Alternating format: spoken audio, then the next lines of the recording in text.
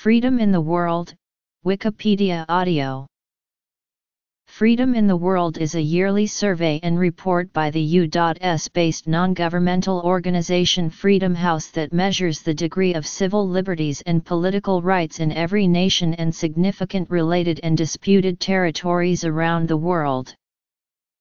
Freedom in the World was launched in 1973 by Raymond Gastil.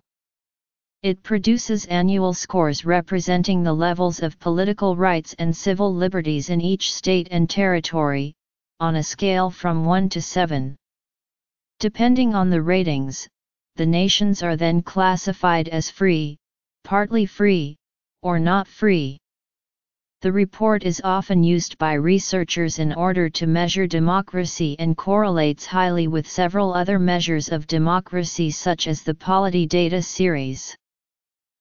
The Freedom House rankings are widely reported in the media and used as sources by political researchers. Their construction and use has been evaluated by critics and supporters. Origin and use The rankings below are from the Freedom in the World 2010, 2011, 2012, 2013, 2014, 2015, 2016, 2017 and 2018 surveys, each reflecting findings covering the previous year. Each pair of political rights and civil liberties ratings is averaged to determine an overall status of free, partly free, or not free. An asterisk indicates countries which are electoral democracies. To qualify as an electoral democracy, a state must have satisfied the following criteria. The years shown in the map and table above are the year the survey was released, the data shown covers the prior calendar year, the chart and table above do not include data for related slash disputed territories.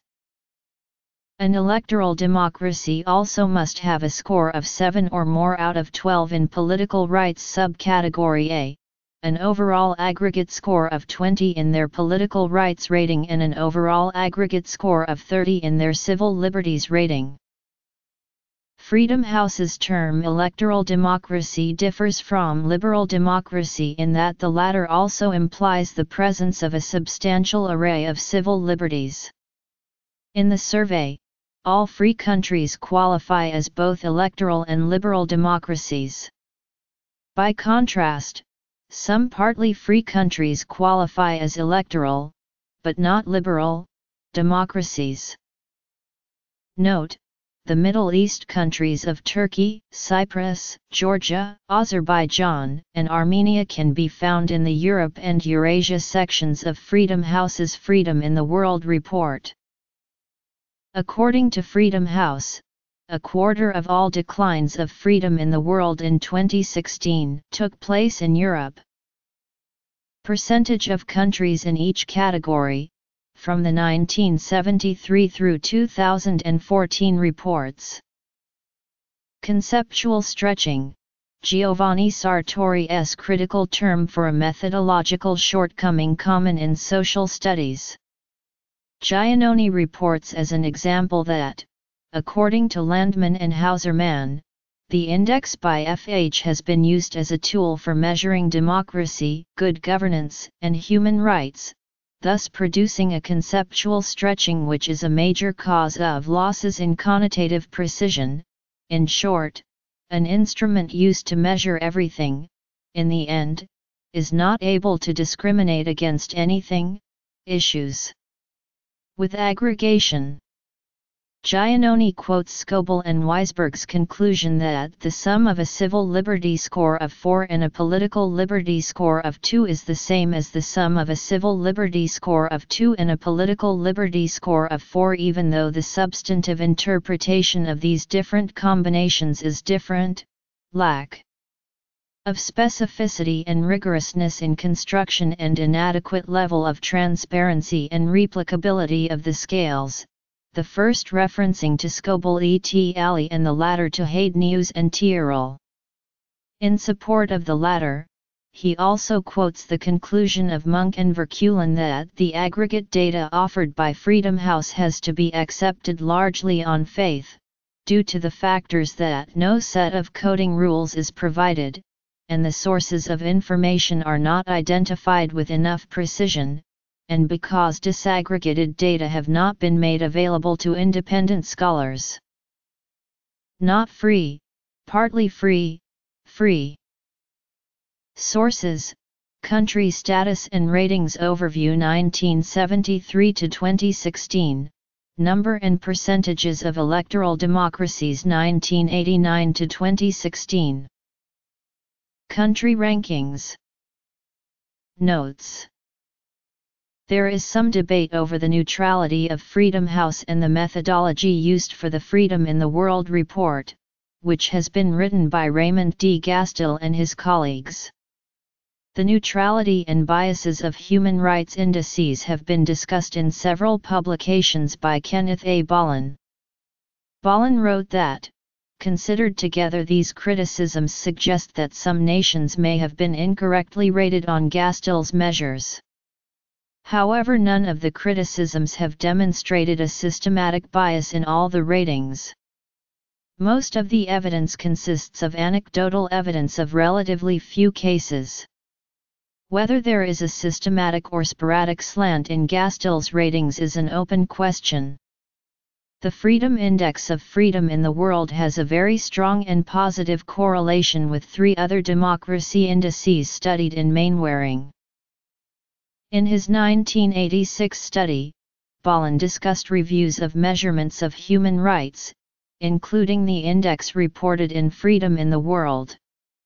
Criticisms of freedom in the world during the 1980s were discussed by Gastil, who stated that generally such criticism is based on opinions about Freedom House rather than detailed examination of survey ratings, a conclusion disputed by Giannone. The definition of freedom in Gastil and Freedom House emphasized liberties rather than the exercise of freedom, according to Adam Przeworski, who gave the following example In the United States, citizens are free to form political parties and to vote, yet, even in presidential elections, only half of U.S. citizens vote. In the U.S., the same two parties speak in a commercially sponsored unison, wrote Przeworski. More recent charges of ideological bias prompted Freedom House to issue this 2010 statement. Freedom House does not maintain a culture-bound view of freedom. The methodology of the survey is grounded in basic standards of political rights and civil liberties, derived in large measure from relevant portions of the Universal Declaration of Human Rights. These standards apply to all countries and territories, irrespective of geographical location, ethnic or religious composition, or level of economic development.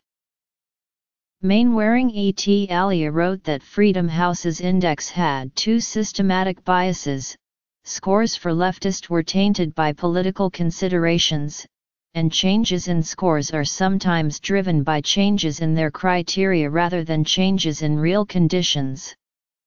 Nonetheless, when evaluated on Latin American countries yearly, Freedom House's index were very strongly and positively correlated with the index of Adam Przeworski and with the index of the authors themselves. They evaluated Pearson's coefficient of linear correlation between their index and Freedom House's index, which was 0.82. Among these indices and the two others studied, the correlations were all between 0.80 and 0.86. As previously quoted, Bollen criticized previous studies of freedom in the world as anecdotal and inconclusive, they raised issues needing further study by scientific methods rather than anecdotes. Bollen studied the question of ideological bias using multivariate statistics. Using their factor analytic model for human rights measurements, Bollen and Paxton estimate that Gastil's method produces a bias of minus 0.38 standard deviations against Marxist-Leninist countries and a larger bias, plus 0.5 SD, favoring Christian countries, similar results held for the methodology of Sussman. In contrast, another method by a critic of freedom in the world produced a bias for leftist countries during the 1980s of at least plus 0.8 SD, a bias that is consistent with the general finding that political scientists are more favorable to leftist politics than is the general population. World Sub-Saharan Africa Criticisms of the reception and uses of the Freedom in the World report have been noted by Diego Giannone. Americas. Asia Pacific. Eurasia. Europe. Middle East and North Africa. In political and ideological aspects in the measurement of democracy, the Freedom House case which reviewed changes to the methodology since 1990, Diego Giannone concluded that because of the changes in methodology over time and the strict interconnection between methodological and political aspects, the FH data do not offer an unbroken and politically neutral time series, such that they should not be used for cross-time analyses even for the development of first hypotheses. The internal consistency of the data series is open to question.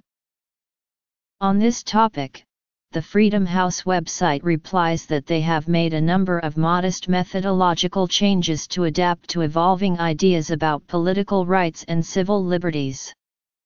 At the same time, the time series data are not revised retroactively, and any changes to the methodology are introduced incrementally in order to ensure the comparability of the ratings from year to year.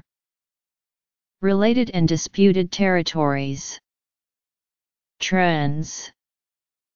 Evaluation. Ideological bias or neutrality. Use and conceptual analysis. Time series. Notes